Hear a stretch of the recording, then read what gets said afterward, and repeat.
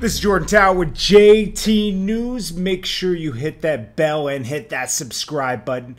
And make sure you hit the like button on this video. Well, we got Gilly the Kid again today, okay? And uh, if you remember yesterday, Bow Wow was like copying his whole thing with giving advice on Instagram.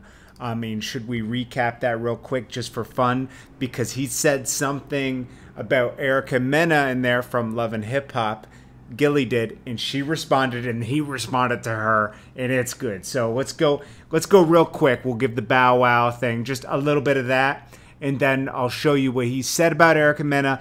Then we'll go to the response. So check it out, man. We're gonna do this shit called Keep It Player Thursdays, where all the fellas be hitting me, asking me tips about ladies in different situations that they be going through, and it's my job to get you through them.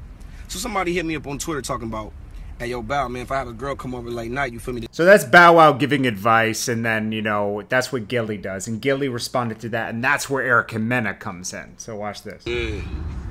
bow wow just said somebody hopped in his dm and asked him for some game. Imitation is the best form of flattery eh right oj oh, that's real shit. Right. But then he on there top of no she called you up during booty time hours booty time hours. he talking about she probably was scarfing dick down her throat. Scarfing dick down her throat. Wait, booty time hours and scarfing dick down her throat.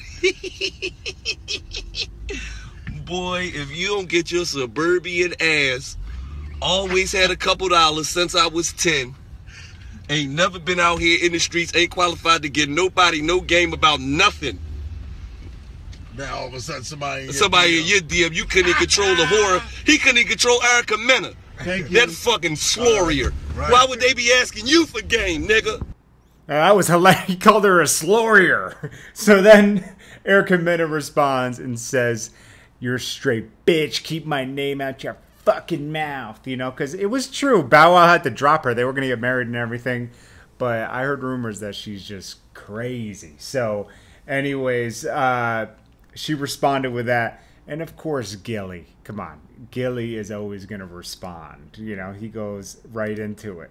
Like somebody just somebody just texted me and said Erica Mena said something about me. Ah, come on, man. I'ma react to that?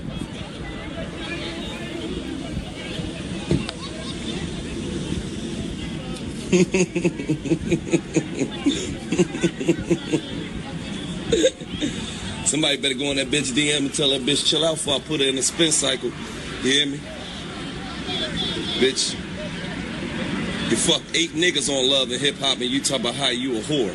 Oh, okay. I'm cool. Uh, you serious? Hmm?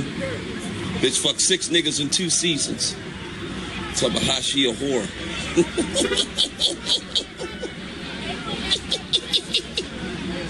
I don't want no trouble, man. Rest in peace, Aunt Edna, man. So this is fucking hilarious. But uh, Gillie the kid responds, and he's speaking the truth too, man. I mean, I, Gillie the kid's the best. You got to go follow his Instagram, Gilly the King, Gilly underscore duh underscore King. Funny as hell, man. Uh, always coming with the jokes, man. Uh, I'll check you guys on the next one. Make sure you hit that bell, hit that subscribe button, make sure you hit that like button, and I'll check you guys on the next video.